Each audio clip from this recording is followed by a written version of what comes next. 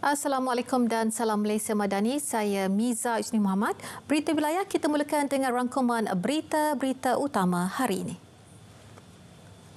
KWSP mengumumkan agihan dividen sebanyak 5.50% bagi simpanan konvensional dan 5.40% untuk simpanan syariah bagi tahun 2023. Jumlah agihan pendapatan itu adalah sebanyak 57.81 bilion ringgit yang memanfaatkan 16 juta pencarum. Pengkreditan dividen untuk simpanan konvensional dan simpanan syariah selesai hari ini. Ahli boleh menyemak akaun masing-masing melalui i-account account atau mendapatkan penyata daripada terminal layan diri SST KWSP di seluruh negara. Pengumuman dividen KWSP itu selari dengan indikator ekonomi semasa. Ketua Pakar Ekonomi Bank Muamalat Dr. Muhammad Afzanizam Abdul Rashid berpendapat dividen tersebut disifatkan munasabah melebihi kadar inflasi semasa pada 1.5%. Uh, the, the announcement, the announced dividend tu kira fairly respectable punya rates because last year we are been experiencing a very volatile markets ya. Yeah? And then kalau tengok dari segi macam mana uh, pergerakan pasaran saham global dan kalau tengok dari segi uh, apa yang uh, new investment yang dibuat oleh EPF masih lagi banyak dekat domestik. Of course, uh, performance domestic market pun akan bagi kesan jugalah. But in a nutshell, kalau saya tengok dari segi uh, peningkatan dalam gross income uh, more than 20% kan uh, dan uh, the announced dividend pun uh, melebihi kadar inflasi. So secara umumnya saya nampak uh, dividend yang diumumkan tu adalah dalam dalam uh, trajectory yang uh, respectable lah. Bagi mengelak keciciran, program rintis penuaian sumbangan tunai rahmah STR dipeluas ke kawasan pedalaman semenanjung Malaysia terutama untuk masyarakat orang asli. Menteri Keuangan kedua Datuk Seri Amir Hamzah Azizan berkata ia melibatkan pendaftaran dan penerangan serta pembayaran secara tunai.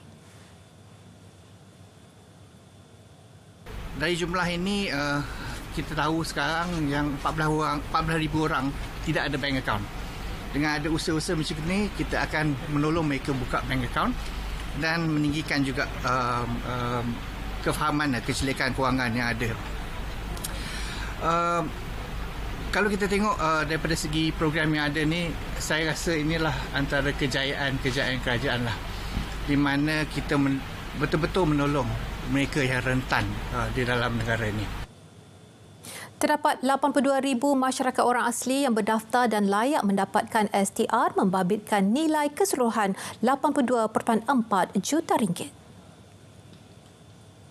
Keupayaan sektor keselamatan maritim di Sarawak akan terus diperkukuh dan usaha itu termasuk menempatkan aset-aset di zon ekonomi eksklusif seperti di luar pantai Bintulu.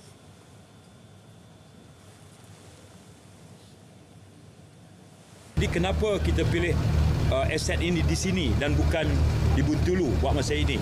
Okay? Tentunya apabila keupayaan aset kita tingkat tambah, uh, jadi keperluan untuk meletakkan wilayah operasi itu di mana adalah sepenuhnya uh, di atas syur dan perancangan uh, strategi operasi. Datuk Seri Saifuddin memaklumkan pengoperasian sulung kapal OPV-1 berjaya mematahkan cubaan nelayan asing mencuri hasil laut di Tanjung Po, Kuching dan di Laut Mukah awal bulan ini. Nilai rampasan berjumlah 3 juta ringgit. Telegram bersedia bekerjasama dengan MCMC bagi memperkemas aspek kawasan platform berkenaan terutama dalam membenteras aktiviti scam dan judi dalam talian. Menteri Komunikasi Fahmi Fadil berkata perkara itu dinyatakan sendiri Ketua Pegawai Eksekutif Telegram Pavel Durov ketika perjumpaan di Dubai semalam. Beliau berkata perbincangan dijalankan amat positif dan memberi fokus kepada perkara berkaitan kerangka kawaselia dan teknologi baharu termasuk kecerdasan buatan AI. Menurutnya, Pavel juga menyatakan minat untuk mengadakan perbincangan lanjut mengenai peluang kerjasama dan bersedia melebarkan sayap operasi di Malaysia pada masa akan datang. Penglibatan berterusan NGO disuruh untuk terus membantu penduduk luar bandar mendaftar dalam sistem pangkalan data utama PADO. Kerjasama NGO dan Jabatan Perangkaan memudahkan penduduk luar bandar khususnya warga emas.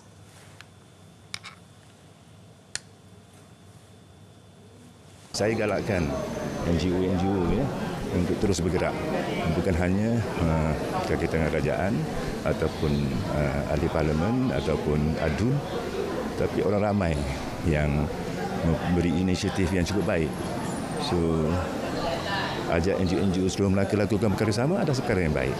Dan saya juga akan harap NGO-NGO yang seluruh negara yang secara sukarela dan insya-Allah dosem dengan kaki tangan yang mereka ada akan membantu NGO-NGO uh, di mana mereka diperlukan. Seramai 4 juta warga negara telah mendaftar dalam sistem PADU setakat semalam.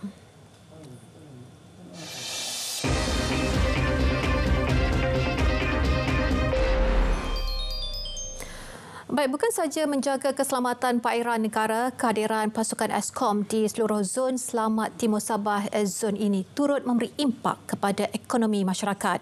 Ikuti siri kedua laporan khas ESKOM 11 tahun bersama wartawan Amran Rajih. Impak dia sekarang ni kita boleh lihat lah. Bila keselamatan tu ada, maknanya sektor ekonomi, sektor ekonomi itu akan bertambah. Bila ekonomi itu bertambah, maknanya uh, penduduk setempat itu boleh menjana pendapatan harian. Apa yang saya tengok di sini, uh, sektor yang paling melonjak naik adalah pelancongan. Menjadi nadi penghubung dengan masyarakat, bahagian ESKOM berusaha memperkukuh kerjasama antara penduduk setempat dengan pasukan keselamatan.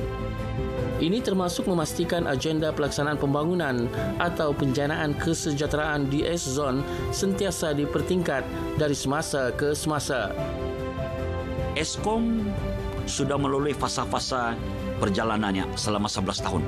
Di, pada pengamatan saya, engagement-engagement yang kita buat melalui tindakan-tindakan awam, melalui uh, bual bicara, melalui sembang, melalui perjumpaan, mesyuarat, saya dapati bahawa masyarakat di Ezon semakin mempunyai keyakinan terhadap uh, tahap kerjasama sebenarnya. Itu yang saya tidak akan putus-putus menyatakan bahawa tanggungjawab menjaga keselamatan negeri Sabah terutamanya di pantai timur ini adalah tanggungjawab bersama dengan masyarakat. Ternyata penubuhan Eskom memberi kesan positif kepada ekonomi dalam kalangan penduduk di zon Selamat Timur, Sabah. Adanya Eskom 11 tahun di Lahadatu ni saya dapat lihat kemasukan pelancong ke Lahadatu semakin meningkat kerana mereka begitu yakin dengan kehadiran Eskom. Seperti kita sedia maklum uh, di Lahadatu ni kita terdapat, terdapat dua kazana utama dunia di uh, di Lahadatu iaitu uh, Danum dan juga uh, Tabin itu sendiri. Segi keselamatan di Lahadatu ni begitu terjamin uh, uh, kita nampak pentadbiran Eskom menjaga begitu ketatlah dari segi apa ni lah macam menceroboh alhamdulillah boleh terkawal lah dan juga ekonomi Ladatu uh, dan juga masyarakat Ladatu ni terjaminlah buat penegang. Genap 11 tahun penubuhannya, peranan Eskom masih relevan. Penduduk di S Zone memerlukan agensi itu untuk terus menjaga keselamatan dan keselamatan hidup mereka. Melalui tagline Tiada Hari Tanpa Operasi, Eskom kerap mengkoordinasi operasi keselamatan bagi memastikan kestabilan tahap keselamatan dan ketenteraman awam bukan sahaja di sempadan perairan malah juga daratan berada pada tahap tertinggi. Amran Raji, Berita RTM.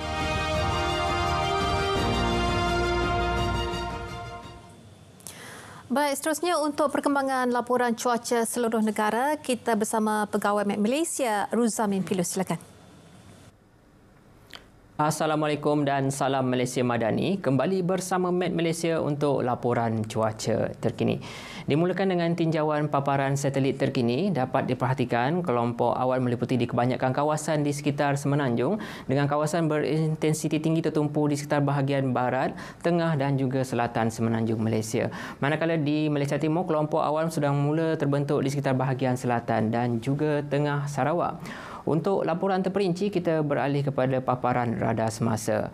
Dimulakan dengan keadaan di Semenanjung, keadaan cuaca hujan dipastikan sedang berlaku di kesemua negeri dengan penumpuan keadaan hujan di beberapa kawasan dicerap di sekitar selatan negeri Kedah, Pulau Pinang, Perak, pedalaman negeri Selangor, negeri Melaka, negeri Sembilan, selatan dan juga barat negeri Johor serta di kawasan pedalaman negeri Pahang, Kelantan dan juga Terengganu.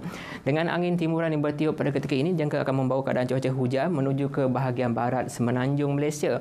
Oleh itu keadaan cuaca lembap terutama di selatan negeri Kedah, di negeri Perak, sebahagian kawasan di negeri Selangor dan juga di negeri Johor dijangkakan boleh berlanjutan sehingga ke malam nanti kita beralih kepada tinjauan cuaca di Sabah dan Sarawak. Pada ketika ini, keadaan cuaca baik di kebanyakan kawasan di Sabah namun keadaan cuaca hujan dipastikan sedang berlaku di sekitar bahagian Tawau dinyatakan akan beransur reda sedikit masa lagi. Manakala di Sarawak, kelompok hujan mula terbentuk di sekitar bahagian pedalaman dan juga di selatan Sarawak. Dengan angin timuran yang bertiup pada ketika ini, dijangka akan membawa terus lembapan dan terus menumpu di sekitar bahagian pedalaman Sarawak yang berpotensi menyebabkan keadaan cuaca hujan yang lebih lebih panjang pada sebelah malam nanti. Kita beralih pula pada tinjauan berdasarkan model ramalan cuaca Met Malaysia. Untuk di Semenanjung pada sebelah malam nanti, keadaan cuaca hujan jangka akan lebih tertumpu di sekitar selatan negeri Kedah, Pulau Pinang, daerah di kawasan barat di negeri Perak dan juga Selangor serta melibatkan kawasan di selatan negeri Johor. Manakala di Sabah dan Sarawak, keadaan cuaca hujan jangka akan lebih tertumpu di sekitar bahagian pedalaman Sarawak. Dan seterusnya pula menjelang ke awal pagi nanti, keadaan cuaca hujan masih lagi berpotensi terutama untuk berlaku di sekitar bahagian pedalaman Sarawak serta melibatkan kawasan di selatan dan timur negeri Johor serta melibatkan kawasan berhampiran pantai di negeri Pahang, Perak dan juga Selangor.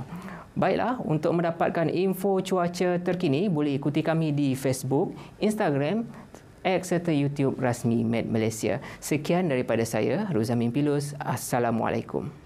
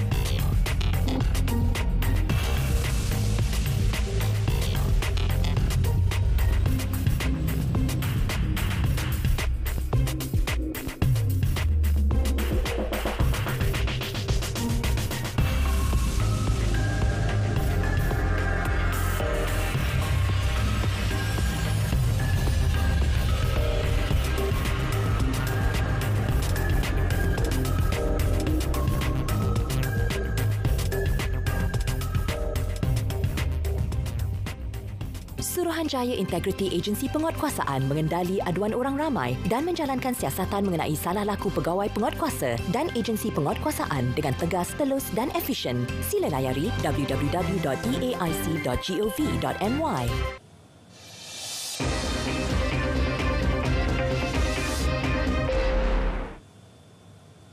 Bertemu kembali. Paparan dari negeri di bawah Bayu ketengahkan inovasi jurusan agroteknologi, akuakultur politeknik selesaikan masalah keterjaminan makanan. Jadi untuk laporannya langsung bersama Suran Shah di Kota Kinabalu. Silakan. Baik, terima kasih Miza. Inovasi hasil jurusan agroteknologi dan akuakultur politeknik perlu diketengahkan untuk membantu menyelesaikan masalah keterjaminan makanan negara. Timbalan Menteri Pendidik Timbalan Menteri Pendidikan Tinggi Datuk Teknologis Mustafa Sakmut berkata mengambil contoh inovasi pelet makanan ayam dan kultur jagung akan menjadi alternatif bagi mengurangkan kos sekaligus memberi ruang kepada penternak meningkatkan hasil ternakan. Kita harap ada industri-industri yang boleh uh, ambil uh, teknologi ini dan kita boleh tanam dalam skala yang besar untuk kita jadikan sebagai asas makanan untuk ternakan kita di negeri ini. Saya pikir ini antara inovasi-inovasi ada lagi yang lain yang perlu kita uh, ketengahkan untuk menyelesaikan masalah di masyarakat ini terutama keterjaminan makanan. Menurut Datuk Mustafa, Politeknik dan Kolej Komuniti juga perlu mengembangkan produk yang dihasilkan dan model pelajaran ke peringkat sekolah rendah sekaligus menarik minat pelajar untuk mempelajari bidang sains, matematik, kejuruteraan dan teknologi STEM dan memilih bidang pendidikan dan latihan teknika dan vokasional negara TVET pada masa akan datang.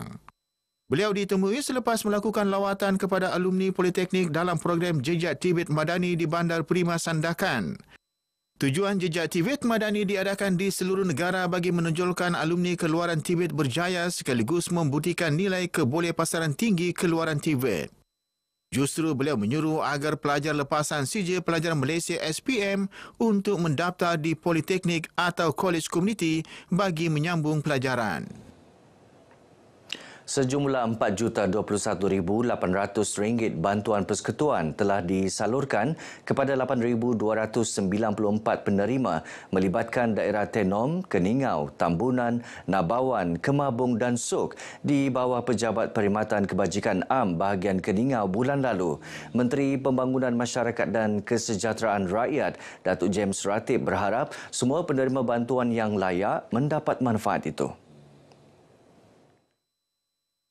Saya mengarahkan uh, supaya uh, pegawai-pegawai Jabatan uh, Kebajikan Daerah di setiap daerah ini supaya kerap kali uh, melawat, meninjau permasalahan-permasalahan rakyat dan saya uh, menyuruh mereka supaya pastikan seluruh rakyat di kawasan pedalaman atas ini yang layak menerima kebajikan ini tidak terlepas pandang dan menerima uh, uh, sepenuhnya. Datuk James ditemui selepas menyampaikan katil kepada pesakit terlantar Langkap Andiga 83 tahun di Kampung Tuari Tau di Keningau. Isteri Langkap Andiga, Jausi Yusof, 55 tahun, mengucapkan terima kasih atas bantuan ini. Saya berterima kasih kepada kebajikan sama Datuk hmm. datang untuk menyampaikan katil sebuah katil hmm. di sini rumah pada Encik Langkap suami saya dan saya harap mereka saya penuh-penuh terima kasih lah kepada mereka sebab kalau bukan diorang yang berikan mana kami mampu kan Keluarga ini juga bakal menikmati kehidupan yang lebih selesa selepas rumah mesra Sabah Maju Jaya siap nanti. Sementara itu, dalam perkembangan lain, Datuk James berharap tiada lagi bangunan klinik kesihatan berasaskan kayu di negeri ini menjelang tahun depan.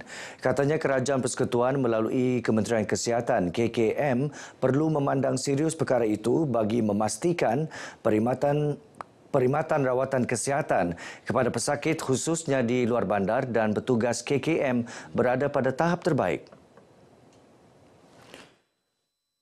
Di Sabah ini banyak uh, klinik kesihatan kita yang masih diperbuat daripada kayu oh, sejak tahun 70-an. Jadi saya ada mohon uh, dengan Kementerian Kesihatan Malaysia dan saya juga akan pastikan dan mohon kepada Kementerian Kesihatan Malaysia supaya menjelang tahun 2025 semua klinik kesihatan di Sabah ini tidak ada kayu lagi. Semua diperbuat daripada konkret yang minta uh, peruntukan khas daripada Kementerian Kesihatan. Datuk James yang juga Exko Kesihatan Kerajaan Negeri Sabah ditemui selepas melawat kabin klinik kesihatan Mansiat di Sok mengulas mengenai status pembinaan bangunan baharu Klinik Kesihatan Mansiat yang terbakar 14 Jun 2022. Beliau telah mengarahkan pejabat daerah Suk agar memohon semula tanah seluas 1.21 hektar berbanding 1.01 hektar sebelum ini serta berharap KKM dapat memberikan sebuah ambulans kepada klinik itu. 25 hektar ini memang tidak cukuplah untuk uh, membina uh, semula klinik kesihatan yang terbakar dan saya minta kepada uh, uh, penolong pegawai daerah di sini di Suk supaya uh, dapat menyediakan sebidang tanah yang luas sedikit iaitu lebih kurang 3 ekar bagi uh, pembinaan semula klinik kesihatan mensihat yang uh, terbakar. Datuk James turut melawat klinik kesihatan Nabawan. Kerajaan negeri menyambut baik mengenai dasar National Load Centre yang diperkenalkan pada tahun 1990 bagi memusatkan semua perkhidmatan kargo di Pelabuhan Kelang, Selangor tidak lagi terpakai. Menteri Pembangunan Perindustrian dan Keusahawanan Datuk Pung Jin Ze berkata ini membolehkan syarikat perkapalan antarabangsa untuk terus berlabuh di mana-mana pelabuhan sama ada di Semenanjung atau Sabah dan Sarawak. Saya ingat ini ini pengumuman merupakan satu titik permulaan yang cukup positif ianya memberikan sekali lagi memberikan keyakinan kepada kepada pelabur-pelabur bahawa ini boleh dilaksanakan. Ha? Mereka punya shipping company can direct ha, come to Sabah. So kita kena kita kena juga uh, apa yang saya usahakan adalah untuk mempertingkatkan kita punya export activities. Datuk Pung ditemui selepas merasmikan sambutan Tahun Baharu Cina Anjuran Persekutuan Industri Sabah FSI di Kota Kinabalu. Pengumuman itu berita baik kepada pemilik kapal, syarikat perkapalan, pengendali lindungan dan pihak lain berkaitan dalam industri perkapalan di Sabah. Menteri Pengangkutan Anthony Locke mengumumkan keputusan untuk tidak menggunakan dasar itu dipersetujui dalam mesyuarat Jemaah Menteri yang dipengerusikan Perdana Menteri Datuk Seri Anwar Ibrahim. Sekian perkongsian dari Sabah untuk petang ini. Untuk lebih banyak perkembangan semasa, teruskan bersama Miza. Dari sungai hingga ke segara, Palestin pasti merdeka. Miza, silakan. Baik, terima kasih Suaran.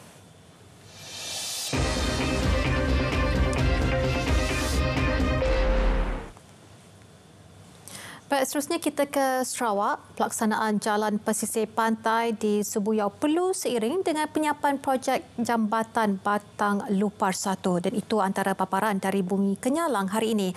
Langsung saja bersama Buma Wendy Kucing. Silakan Buma. Baik, terima kasih Miza. Saudara, sebelum itu kita mulakan dengan perkembangan banjir. Seramai 61 penduduk terjejas banjir daripada 17 keluarga di daerah Siburan telah dibenarkan pulang ke rumah masing-masing setakat pukul 4 petang tadi. Ini berikutan penutupan dua buah pusat pemindahan sementara PPS iaitu Balai Raya Betong Kampung Betong Kenawit dan Dewan Serbaguna Kampung Lintang Baru berdasarkan notis penutupan daripada Jawatan Kuasa Pengurusan Bencana, Bencana Daerah Siburan. PPS Dewan Serbaguna Kampung Lintang Baru yang telah dibuka pada pukul 10.30 malam tadi menempatkan 55 penduduk daripada 15 keluarga. Manakala PPS Balai Raya Kampung Betong Kampung Kenawit yang telah diaktifkan pada tengah malam tadi menempatkan enam penduduk daripada dua keluarga. Ini menjadikan keseluruhan penduduk terjejas banjir menurun kepada 1,452 orang dengan 378 keluarga berbanding 1,511 orang pada pukul 12 tengah hari. Projek Jalan Pesisir Pantai menuju Jambatan Batang Lupar 1 kini sudah mencapai lebih 50% siap. Timbalan Premier Merangkap Menteri Infrastruktur dan Pembangunan Pelabuhan, Datuk Amar Douglas Sugambas berkata, projek itu dijangka dapat disiapkan lebih awal dari jadual ditetapkan. Projek jalan sepanjang 5.7 km itu dan bernilai 107.5 juta ringgit diyakini akan memberi manfaat kepada penduduk setempat dan dijadual siap pada Ogos 2026. Oleh itu, beliau meminta pemaju segera menyiapkan projek jalan pesisir berkenaan agar seiring dengan penyiapan projek jambatan Batang Lupar 1. Beliau berkata demikian semasa melakukan lawatan kerja ke daerah Sebuyau. Semasa lawatan tersebut, Datuk Amar Douglas telah diberi taklimat keselamatan feri Sebuyau Triso serta taklimat kemajuan projek jambatan Batang Lupar 1 oleh Jabatan Kerja Raya Sarawak. Aktiviti ekonomi konvensional perlu dipertingkatkan bagi membolehkan Sarawak menerokai ekonomi baharu dengan lebih efisien. Timbalan Premier Sarawak Datuk Ahmad Awang Tengah Ali Hassan memberitahu seperti contoh di dalam menerokai ekonomi hijau seperti hidrogen ianya perlu diuruskan dengan sistematik agar dapat diseimbangkan mengikut visi negeri melalui Pelan Strategi Pembangunan Pasca COVID PCDS 2030 dengan kepentingan alam sekitar itu sendiri. Katanya adalah menjadi tanggungjawab pejabat awam negeri sebagai tonggak di dalam mencapai matlamat kerajaan negeri kerana ia merupakan perubahan yang bukan sahaja berlaku di peringkat negeri bahkan global. Beliau memberitahu demikian dalam majlis penutupan Karnival Sukan Landas Laskar 2024 di Kuching. Jelasnya kerjasama berpasukan diperlukan bagi melonjakkan ekonomi negeri ini dan seterusnya meningkatkan kesejahteraan hidup masyarakat. Baik, dalam perkembangan lain, Kerajaan Sarawak meminta Kerajaan Persekutuan mewujudkan satu ekosistem ekonomi baru yang dapat melonjakkan penglibatan bumi putera negeri ini dalam bidang keusahawanan dan ekonomi. Timbalan Premier Sarawak, Dato' Amar Awang Tengah Ali Hassan berkata, ekosistem tersebut akan mewujudkan dasar yang lebih holistik, pragmatik dan kerangka kawal selia yang dapat mempermudahkan pentadbiran dan pengurusan. Ini termasuk untuk memudah dan menyelaras segala bentuk bantuan, memudahkan pengurusan perniagaan dan mengurangkan kerenah birokrasi serta desentralisasi kelulusan permohonan pembiayaan. Beliau berkata demikian semasa berucap dalam Kongres Ekonomi Bumi Putera yang berlangsung di Putrajaya. Dalam pada itu, Dato' Amar Awang Tengah memberitahu Kerajaan Sarawak turut meminta Kerajaan Persekutuan meneruskan insentif pinjaman mudah, subsidi, jaminan pinjaman dan grant khususnya bagi usahawan yang baharu menceburi perniagaan. Ia juga termasuk bantuan dalam penyediaan premis-premis perniagaan, latihan dan kemahiran serta akses pemasaran. Permintaan tersebut bertepatan dengan populasi Sarawak dengan 72.4% daripada 2.5 juta penduduk Sarawak adalah adalah Bumi Putera. Lebih kurang 70 pemimpin masyarakat dari Sri Aman menghadiri majlis makan malam bersama Tuan Yang Terutama Negeri di Kuching. Tuan Yang Terutama Yang Di-Pertuan Negeri Sarawak, Tun Pen Sri Dr. Wan Junaidi Tuanku Jafar dan isteri, Tuh Puan Fauziah Mama Sanusi disambut rombongan tersebut yang diketuai oleh Muhammad Hamzah Uthman dalam satu majlis yang diadakan di sebuah hotel terkemuka di Bandar Raya Kuching. Majlis didahului dengan bacaan doa dan seterusnya dengan ucapan menjunjung kasih oleh ketua rombongan menyentuh mengenai peranan Tuan Yang Terutama dalam pembangunan negeri Sarawak. Beliau berharap Tuan yang terutama tidak terlepas untuk memimpin dengan tulus ikhlas dan memberikan perhatian kepada pembangunan dan kesejahteraan rakyat. Ini termasuk pembangunan warisan bangsa dan budaya yang harus diberi perhatian bagi memastikan Sarawak sentiasa beridentiti yang tidak berpaksikan kepada satu kaum sahaja. Lebih seribu peserta mengambil bahagian dalam acara larian Girl Guides 2024 Anjuran Persatuan Pandu Puteri Malaysia Cawangan Sarawak bertempat di pekarangan Majlis Bandaraya Kuching Selatan MBKS pagi tadi.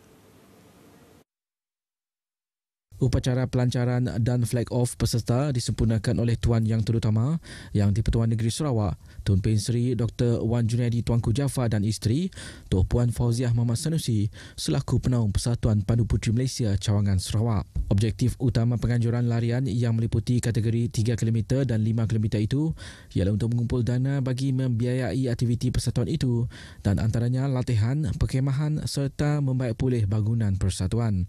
Pelbagai acara turut diadakan termasuk senaman Zumba dan cabutan tiket bertuah. Hadir sama pada acara itu Timbalan Premier Dato' Amar Awang Tengah Ali Hassan dan isteri Dato' Dayang Mauliah Dato' Awang Daud merangkap yang di-Pertua Persatuan Pandu Puteri Malaysia Cawangan Sarawak.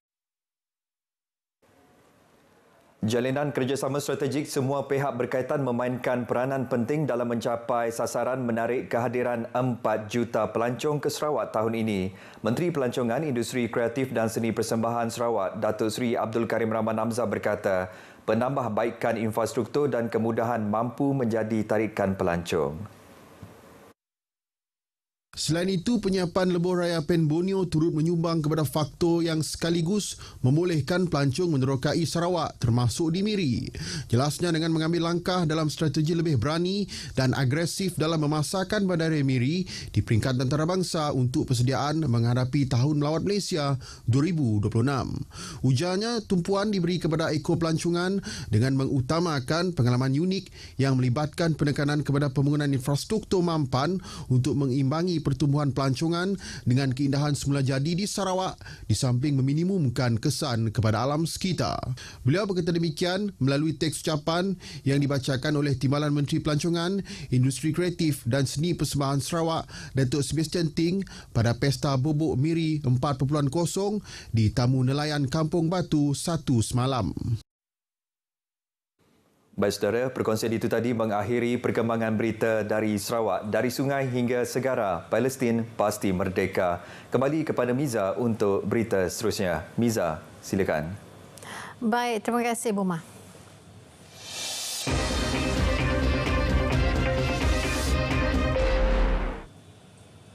Usaha tarik 13.5 juta pelancong ke negeri Tok Gajah di Pergiat antara bahan berita dari Pahang. Jadi terus saja bersama Fatih Nasuha Rashid di sana. Silakan Fatih. Terima kasih Miza. Usaha mempromosi Pahang sebagai destinasi eko pelancongan bertaraf dunia terus dipergiat. Kali ini menerusi pameran pelancongan antarabangsa ITB Berlin 2024 di Jerman pada 5 hingga 7 Mac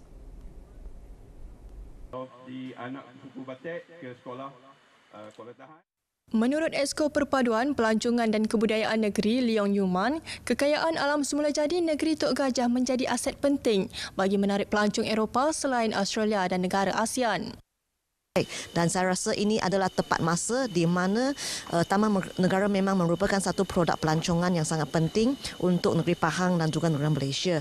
Dan uh, usaha ini juga tepat dengan masa sempena Tahun Melawat Malaysia pada tahun 2026.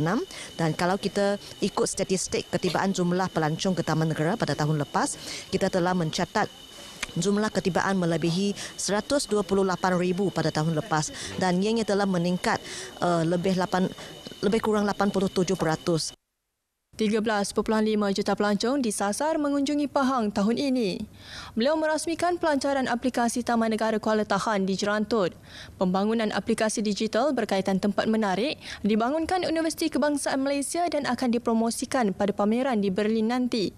Sementara itu, pengarah projek Muhammad Akmal Muhammad Hisham berkata, pembangunan aplikasi ini merangkumi pendigitalan permit, senarai tempat-tempat menarik dan info-info berkaitan Taman Negara. Ha, pelancong boleh menggunakan aplikasi ini, boleh uh, menggunakan aplikasi ini untuk mendapatkan info-info berkaitan taman negara uh, seperti tempat-tempat menarik dan aktiviti menarik dan um, membeli permit ini menggunakan aplikasi ini. Aplikasi ini turut mengandungi peta digital mesra pengguna bagi kemudahan pelancong. Taman negara, tetamu-tetamu jemputan yang Majlis Bandaraya Kuantan menaik taraf kemudahan di kawasan tumpuan pelancong di daerah ini termasuk membina gerai makanan baharu sebagai daya tarikan. Esko Kerajaan Tempatan Perumahan Alam Sekitar dan Teknologi Hijau Negeri, Datuk Muhammad Fakrudin Muhammad Arif berkata, beberapa kemudahan itu telah siap dan mula beroperasi. Ini termasuk gerai baharu di Pantai Batu Hitam yang merupakan antara lokasi utama tarikan pelancong. Selain di Pantai Batu Hitam, gerai makanan baharu turut dibina di beberapa lokasi. Antaranya di Pantai Cendur dan Pantai Cerating. Uh, kita nak melihatlah supaya uh, setiap uh, individu termasuklah semualah yang terlibat daripada pejabat awam ya daripada peniaga daripada masyarakat semuanya mesti mesti beratkan kebersihan lah dalam kehidupan ini sebab bukan saja di gerai bahkan juga dalam penyediaan makanan tersebut supaya dia akan menjadi satu tarikan juga lah ya. Beliau ditemui selepas menyempurnakan perasmian gerai batu hitam di Kuantan. Gerai yang dibina dengan kos 2.5 juta ringgit itu mempunyai 8 pintu dilengkapi dengan pelbagai kemudahan. Seterusnya ke gerai Encik Hanafi yang menyediakan sotong dan Sumbangan beg sekolah menjadi salah satu bentuk bantuan di bawah bakul pendidikan yang diberikan Pertubuhan Kebajikan Mai Zahra Malaysia. Penasihat Pertubuhan Datuk Agil Muhammad berkata, sumbangan bertujuan meringankan beban ketua keluarga sejajar moto menyantuni kebajikan memartabat masyarakat madani.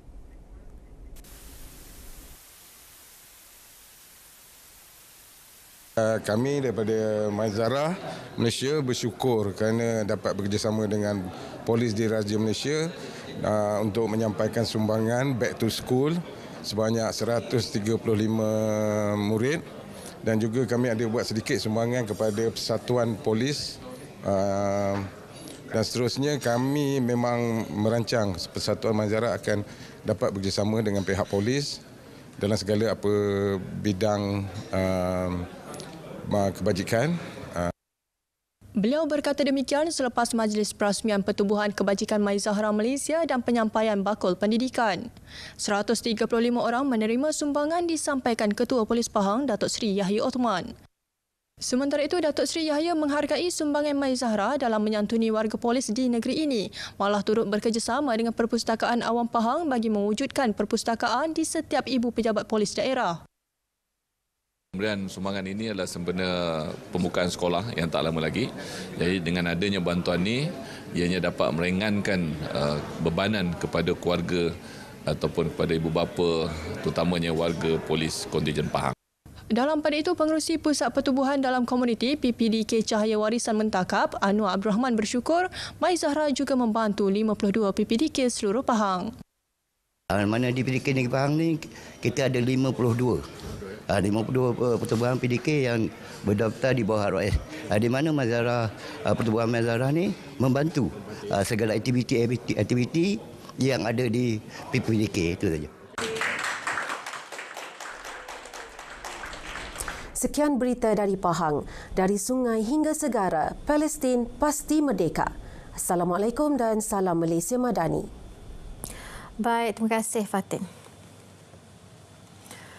Tujuh kematian direkodkan melalui tujuh kes panggilan lemas setakat Januari hingga semalam. Jadi persoalannya, siapa yang harus dipertanggungjawabkan?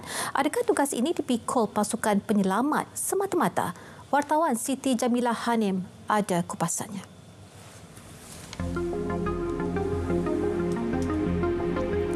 Pelbagai pendekatan telah diambil pihak berwajib bagi menyedarkan masyarakat mengenai aspek keselamatan di air.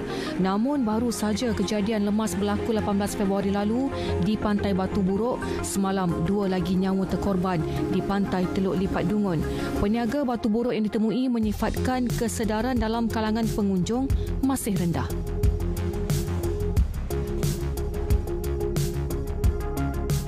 Biasa biasa hak saya nega lama kat sini ya. Biasa orang luar mandi banyak. Ha. Orang luar mandi ada juga macam tengok tu kabo ni tak boleh mandi sini kata. Ha. Mana ni tempat ni tempat kita tempat sini tempat kapal amba kan. Jadi kita tahu pasal tu guna dia kadang-kadang ada setengah orang tu berterima kasih anak ni. Ha, sebab dia pun tahu ada kes-kes lemah kan. Kalau biasa saya uh, hari yang cuti saya lepas dekat Bantan biasa tu. Tapi belah sana kawasan AN double tu memang ramai. Kadang-kadang kita pergi sana takut anak orang anak orang macam kecil-kecil family tinggal tinggal macam kita pun risau. Kita pergi sana untuk macam nak healing ke apa-apa tapi kita fokus pada orang anak orang okey. Macam mana tu oh takutlah di dekat tempat air tu. Macam kita tengok juga tapi sorry lah untuk family-family tu mungkin dia orang ingat biasa. Tapi kawasan ni kita yang tahu macam mana bahaya untuk budak-budak kecil lah. Tahun lalu, 29 kematian direkodkan menerusi 23 kes lemas. Penolong pengarah operasi JBPM Terengganu Muhammad Basri Kamarazaman memaklumkan angka itu menjadikan Terengganu negeri keempat paling tinggi kes kematian akibat lemas selepas Sabah, Sarawak dan Selangor. Bagi uh, pengunjung-pengunjung sekiranya tuan-tuan ada uh, menasihatkan uh, mana-mana uh, pengunjung-pengunjung yang bermain uh, di kawasan-kawasan berisiko dan uh, mereka tidak mengendahkan nasihat-nasihat anda. Tuan-tuan boleh melaporkan pada pihak kuasa untuk kita mengambil tindakan untuk memberi nasihat ataupun tindakan selanjutnya untuk memastikan tidak berlakunya kes lemas. 13 pantai dikategorikan berisiko tinggi lemas iaitu 5 di Dungun merangkumi Pantai Teluk Lipat, Pantai Tanjung Jara, Pantai Petak Paka, Pantai Sura dan Teluk Bidara. 3 di Kuala Terengganu melibatkan Pantai Batu Buruk, Pantai Cendering dan Pantai Panda. Kuala Nerus pula Pantai Seberang Takir, Marang Pantai Rumuda dan Kekabu, manakala Kemaman Pantai Teluk Kalung dan Pantai Penunjuk Kijal. JBPM menyediakan dua pasukan bantuan Swift Water and Rescue Team SWAT di BBP Dungun serta satu di BBP Kuala Nerus. Ikuti siri kedua kesedaran mengenai lemas esok bagi mendalami penambahbaikan yang perlu dilakukan selain mengekang nahas sama berulang. Siti Jamilah Hanim Jamil, RTM.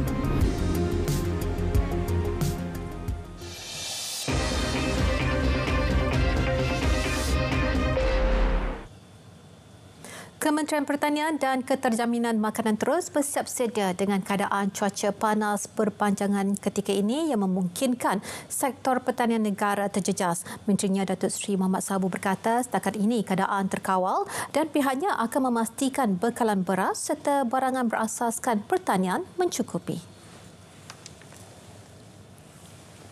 Menurutnya, kesan fenomena El Nino itu dapat dilihat ketika ini apabila pengeluaran padi negara kekal dan Malaysia perlu mengimport 38% beras import.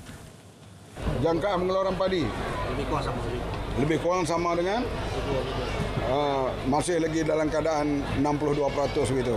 Umumnya saya lalu saya tengok cara mata kasar. Padi tahun ini kurang kurang baik. Dia dah keadaan cuaca ni dah berlaku tiga tahun menyebabkan hasil padi tidak memeransangkan. Ada, tapi pertengahan saja.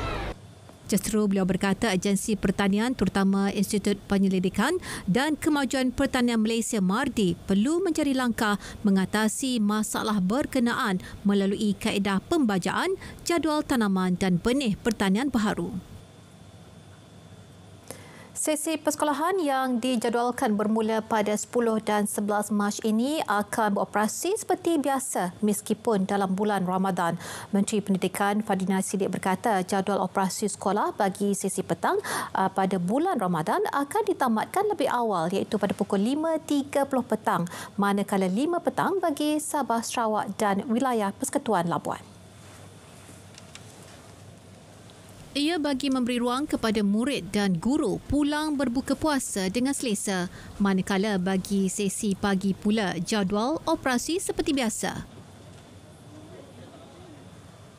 Dan kantin tidak boleh ditutup bagi anak-anak yang tidak berpuasa dan uh, anak-anak yang bukan uh, Islam. Maknanya kantin beroperasi seperti biasa. Uh, jadi kita harap uh, semangat membuka sekolah ini diikuti dengan semangat Ramadan ini. Sama-sama uh, kita terus uh, dapat uh, memperkukuhkanlah ya pembukaan sekolah ini dengan segala persiapan yang telah kita laksanakan insyaAllah Beliau bercakap kepada pemberita selepas merasmikan Sekolah Kebangsaan Jenis Cina SJKC Poi Chi di Sungai Petani Kedah. Sajian dari Malaysia, Barat, Maghribi, Jepun dan China. Itu tarikan buffet berbuka puasa ditawarkan Maharajan Al-Atma'am di Bertam Resort and Waterpark menjelang Ramadan. Pengunjung akan disajikan dengan 150 juadah menusi 25 gerai makanan. Pengarusan Maritime Waterfront Suite Datuk Muhammad Iqbal S. Habib Nahu berkata 30,000 pengunjung disasar hadir menikmati pengalaman berbuka di Tawar.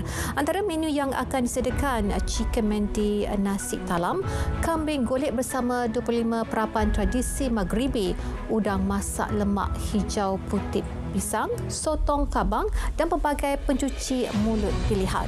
Sesi tazkirah juga akan diadakan setiap Jumaat dan Sabtu dan lebih meyakinkan pihaknya telah menerima pengesahan pensijilan halal daripada JAKIM. Buffet kali ini uh, kita hidangkan 150 variety. Um, ada ada macam-macam masakan, ada yang Morocco, uh, ada masakan tradisional, uh, dan juga uh, uh, variety Western juga. Uh, uh, harga asal uh, RM118. Uh, kalau uh, uh, early bird uh, 98 tidak cukup dengan itu, sepanjang bulan puasa nanti, Taman Tema Air di resort, di resort tersebut akan diberikan diskaun RM25 seorang berbanding harga asal RM78. Taman Tema Air itu akan beroperasi seperti biasa dan tambahan setiap Sabtu dibuka siang dan malam untuk hari Sabtu saja dalam seminggu. So kita rasa kita harap uh, nanti uh, dapat sambutan yang menggalakkan lah sebab harga tiket uh, dah kita uh, turunkan. Uh, insyaAllah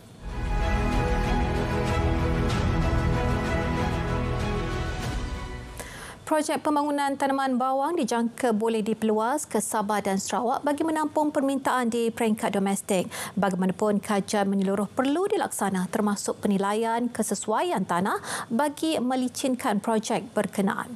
Dan ketika ini, projek rintis telah dilaksanakan di beberapa negeri termasuk Perak dan Perlis.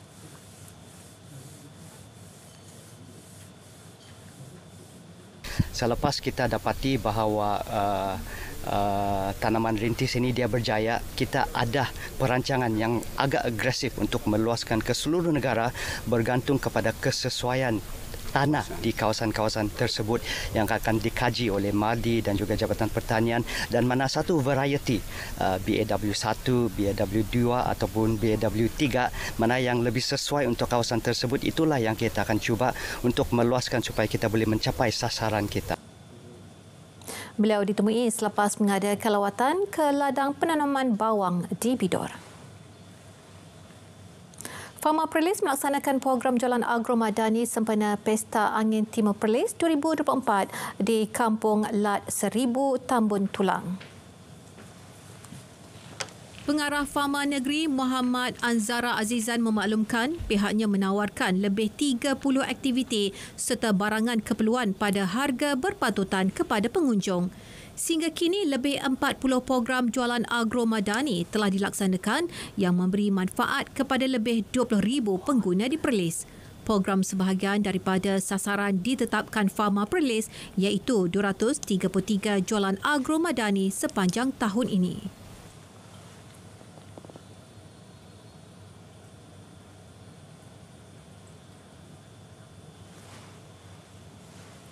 Memorial Perang Musuh Bisik yang terletak di Kuala Kedah akan dibangunkan semula sebagai produk pelancongan. Pengurusi Jawatankuasa Pelancongan, Kebudayaan dan Keselamatan Negeri Kedah, Datuk Saleh Saidin berkata, Waterloo 1815 Memorial di Belgium akan dijadikan model contoh dalam usaha itu.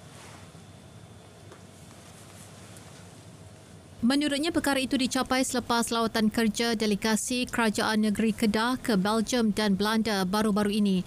Beliau berkata melalui lawatan kerja berkenaan banyak perkara dapat dipelajari terutama dalam memanfaatkan sumber budaya dan sejarah menjadi destinasi pelancongan popular. Perang musuh bisik berlaku pada 12 November 1821 apabila Kerajaan Siam menyerang Kesultanan Kedah yang berpengkalan di kota Kuala Kedah. Sebuah syarikat pengeluar produk sarung tangan didenda RM20,000 oleh Mahkamah Session Kulim hari ini atas kesalahan pencemaran air. Hakim Mirza Muhammad menjatuhkan hukuman tersebut selepas pengurus syarikat berkenaan mengaku bersalah atas petuduhan yang dibacakan terhadapnya. Kesalahan itu dilakukan antara pukul 9 hingga 10.25 pagi pada 23 Mei tahun lepas di premis yang beroperasi di kawasan perindustrian Padang Meha, Padang Serai. Syarikat terbabit didapati telah melepaskan efluen perindustrian ke dalam longkang awam.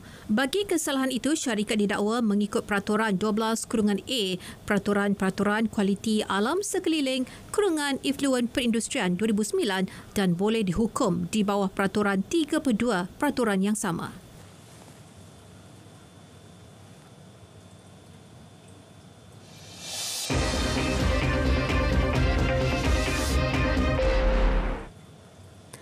Pemberian dividen KWSP disambut baik pencarum di sebalik cabaran kos sara hidup, agihan berkenaan membantu rakyat menabung demi simpanan hari tua. Alhamdulillah lah sebab uh, dividen tahun ni pun uh, lebih sikit daripada yang tahun sebelum ni. Uh, mungkin peluang untuk rakyat lah uh, recover balik uh, dari segi ekonomi sebab uh, mostly uh, pandemik yang lepas uh, ramai yang buat pengeluaran. So inilah peluang kami untuk simpan semula. Dividen pada tahun ini uh, meningkat uh, uh, akan dikekalkanlah uh, di masa akan datang dan juga uh, akan masuk ke yang dikabarkan ada masuk ke akaun ketiga. So akan memberi harapan lah kepada uh, rakyat Malaysia. Dengan ekonomi sekarang saya rasa untuk yang mana menyimpan 5.5 tu okey lah daripada tak ada untuk kita sebaik guna duit tu betul-betul lah. Ada penambahbaikan lah daripada tahun-tahun sebelum ni. So saya berpuas hatilah dengan pentadbiran kerajaan sekarang uh, dengan nilai ringgit yang jatuh tapi daripada segi ekonomi, dividen ada manfaat kepada rakyat. Uh, dan saya dengar untuk akaun yang ketiga uh, harap boleh diteruskan menyimpan untuk KDSP supaya nanti di masa hari tua nanti ketika umur anda 55 tahun ataupun ke umur 60 tahun anda ada simpanan untuk hari tua 5.4 ke 5.5 jadi so far ada keuntungan juga lah ada benefit untuk kita di sini Keterujaan memahami pelbagai aspek agama perlu diimbangi dengan ilmu supaya tidak tersasar. Timbalan Menteri di Jabatan Perdana Menteri Hal Ehwal Agama Dr. Zulkifli Hasan berkata, perkembangan mendapatkan kefahaman agama semakin baik namun perlu berhati-hati dalam meneliti serta menapis setiap maklumat yang diterima. Kita perlu berhati-hati dan meneliti sesuatu supaya sebelum kita uh, dapat uh, mendapatkan maklumat itu dan ianya perlu ditapisi dengan keilmuan. Dan yang kedua adalah sekiranya ada beberapa kekaburan, maka yang paling terbaik adalah kita merujuk kepada pihak berautoriti. Beliau berkata demikian selepas merasmikan majlis penutup Konvensyen Madani Rakan Siswa Yadim 2024 di Pusat Belia Antarabangsa Kuala Lumpur. Polis Diraja Malaysia PDRM menyerahkan siasatan berhubung kedudukan syarikat pelaburan milik usahawan Mahadi Badrul Zaman kepada Suruhanjaya Security Malaysia SC yang disahkan tidak memiliki lesen. Pengarah Jabatan Siasatan Jenayah Komersial GSJK Bukit Aman Datuk Seri Ramli Muhammad Yusof berkata pihaknya senada dengan Suruhanjaya terbabit bahawa syarikat itu tiada lesen untuk berniaga. Ada satu kenyataan yang telah dikeluarkan oleh uh, Securities Commission bahawa mereka beroperasi tanpa lesen dan kita pun uh, maintain bahagian itulah. Of course uh, Securities Commission lebih mengetahui kerana di bawah bidang mereka dan didapati bahawa pelaburan ini adalah tidak berlesen. SC dalam kenyataan memaklumkan syarikat AUF MBZ Consortium PLT didapati menjalankan urusan perniagaan dalam aktiviti terkawal dengan mempromosi saham syarikat awam tidak tersenarai tanpa memegang lesen daripada SC. Segelintir syarikat pelaburan dikesan melakukan penipuan dengan menjanjikan pulangan tinggi sebelum hentikan operasi menyebabkan pelabur menanggung kerugian. Beliau ditemui selepas melancarkan portal semak mula 2.0 di Kuala Lumpur. Bekas pemain kebangsaan Sarjit Singh dinamakan sebagai ketua jurulaki hoki lelaki negara yang baru bagi menggantikan A. Arul Selvaraj. Pengumuman dibuat oleh Presiden Konfederasi Hoki Malaysia KHM Datuk Seri Subhan Kamal selepas mempengusikan mesyuarat khas pertama persatuan itu di Bukit Jalil siang tadi. Sarjit diberikan kontrak selama dua tahun bagi membimbing skuad Speedy Tigers. Jelas Datuk Seri Subhan, keputusan itu adalah sebulat suara selepas meneliti beberapa perkara melibatkan jurulatih asing dan tempatan selain keperluan para pemain. Kami juga mempunyai harapan penuh menyokong sepenuhnya atas pelantikan ini dan kami juga akan memberi sokongan uh, yang tak berbelah bagi kepada ketua jurulatih ini untuk mencari uh, apa yang diperlukan untuk memastikan bahawa uh, pasukan kebangsaan akan uh, dapat menjaya, dapat kejayaan yang lebih. Sarjit yang merupakan jurulatih pasukan hoki Johor pernah mengendalikan skuad Speedy Tigers dari Januari 2007 hingga Disember 2008. Selain Sarjit, tiga calon lain yang disenarai pendek adalah bekas pengendali kebangsaan Muhammad Dharma Raj Abdullah serta dua calon dari luar negara Brandon Caralon dari Afrika Selatan dan Glad Tanner dari Australia.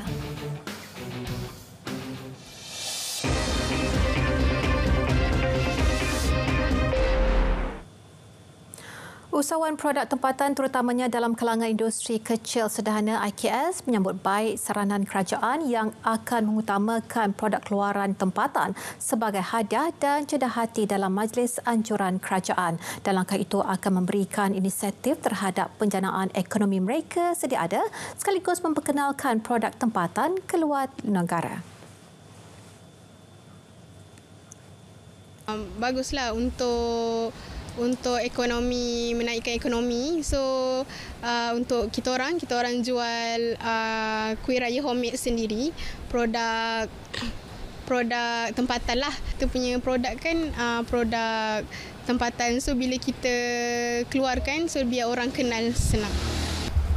Okey, saya rasa pun produk-produk uh, bahan rawatan ni pun elok juga diketengahkan. Pasal yalah banyak banyak orang kata kegunaannya apa itu je lah. Jadi orang tak tahu boleh tahu.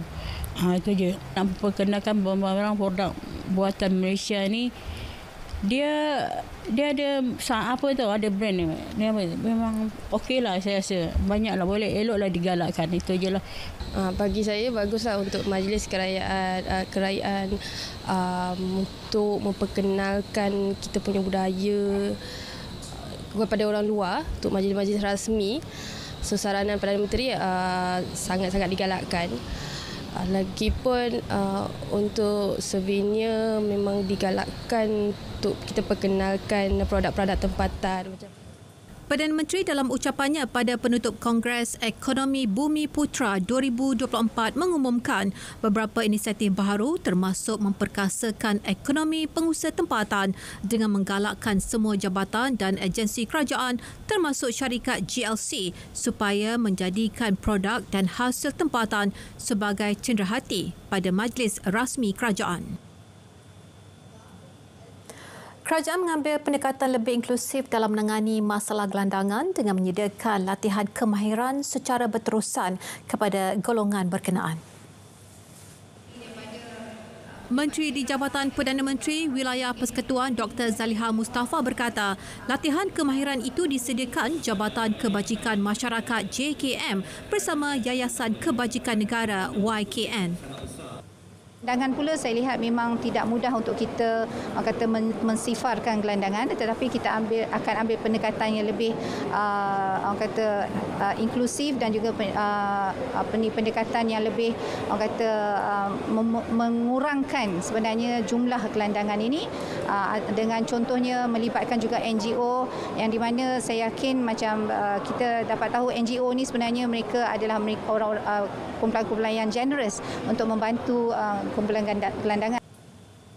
Beliau berkata latihan itu akan membantu mereka mendapatkan pekerjaan sekaligus menjana pendapatan.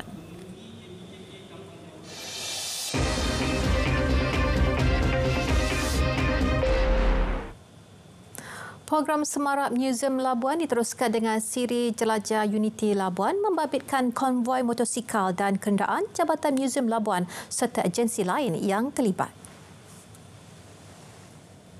Konvoi berkenaan diketuai Pengarah Museum Labuan Muhammad Azam Adenan dan disertai Pengarah Jabatan Perpaduan Negara dan Integrasi Nasional JPNIN Labuan Ista Dikawan.